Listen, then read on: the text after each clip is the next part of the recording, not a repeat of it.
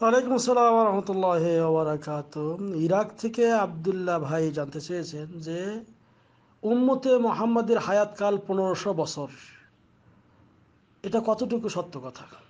আলহামদুলিল্লাহ ওয়াসালাত ওয়াসালাম আল্লাহ রসুল্লাহ মাবাদ সম্মানিত ভাই, যেই কথাগুলি আমাদের সমাজে প্রচলন আছে যে, পনেরোশো বছর পর এই পৃথিবী আর থাকবে না, নষ্ট হয়ে যাবে, শেষ হয়ে যাবে এই কথাগুলি সম্পর্কে যেগুলি মতামত ওলামায় গ্রামের অনেকের পেশ করা হয়, ইমাম সৈয়দির একটা এরকম কথা রয়েছে।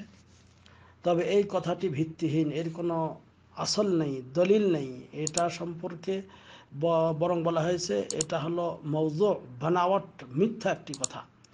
এটা কোনো হাদিস নয়, নবী করিম ইসলামের কথা নয়, এমনকি এটা আল্লাহ নবী ইসলাম সাহাবা ইকরাম কেউ বলেননি। বরং এই কেয়ামত কবে হবে এ সম্পর্কে স্পষ্ট কথা কোরআনুল করিমে সুর আহজাব তেষট্টি নম্বর আয়াত আল্লাহ রব্বুল্লাহ আলমিন বলছেন। আল্লাহ বলছেন ইয়াস আলু ক্যান্নাস আনিসাহ কেয়ামত কবে হবে এ সম্পর্কে মানুষ আপনাকে জিজ্ঞেস করবে। কল, হে নবী, আপনি বলুন, ইন্নামা এলমুহা আইন্দ আল্লাহ এর এলেম এর জ্ঞান আল্লাহর নিকটেই রয়েছে। ওমা ইউদিরি কালা আল্লাহ করিবা? আপনি জানেন কি যে কেয়ামত অতি নিকটে। অর্থাৎ এটা খুবই নিকটে আমাদের সামনে আসতেছে। এটা বাস্তব। কিন্তু কবে হবে, কোন দিন হবে, পনেরোশো বছর পর আর থাকবে না। অথবা আরও কেউ কেউ বলেছেন যে বারোশো বছর পর, পরে আর থাকবে না। এইগুলো বিভিন্ন ভ্রান্ত কথা আমাদের সমাজে আছে। অথবা পনেরোশো বছর এর আগেই এই কেয়ামত হয়ে যাবে।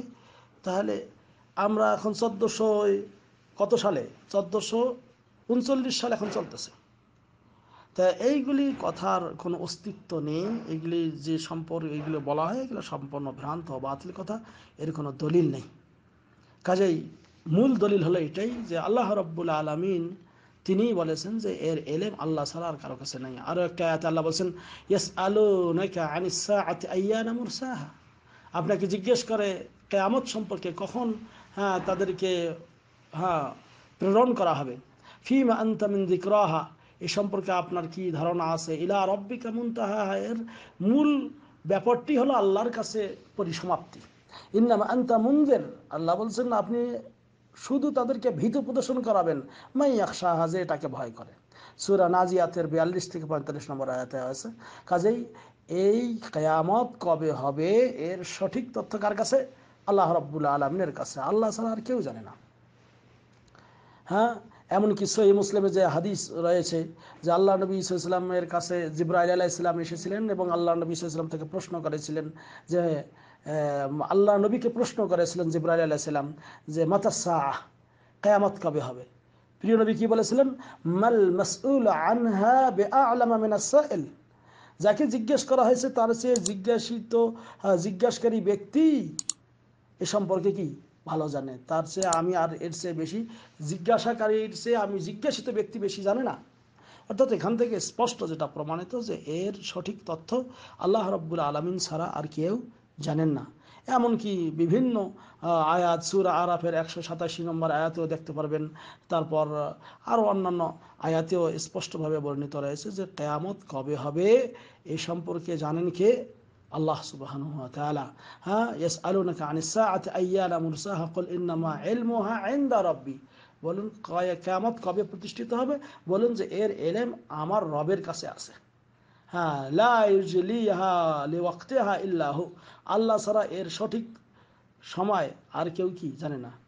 কাজেই আল্লাহ রব্বুল আলমিনে এই সঠিক সময় জানেন এবং কতদিন কেয়ামত থাকবে জানেন? তবে কেয়ামতের আগে কিছু পূর্বাভাস হবে।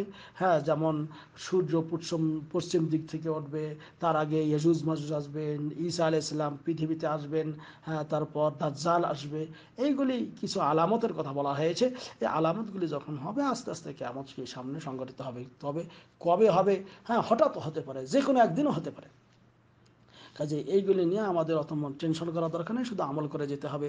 আল্লাহ রব্বুল আলমিন আমাদেরকে সঠিক জিনিস জানার অমানা দান করে কামিন ওসল আল্লাহ আলা নবীর মোহাম্মদ। আসসালামু আলাইকুম রহমতুল্লাহ।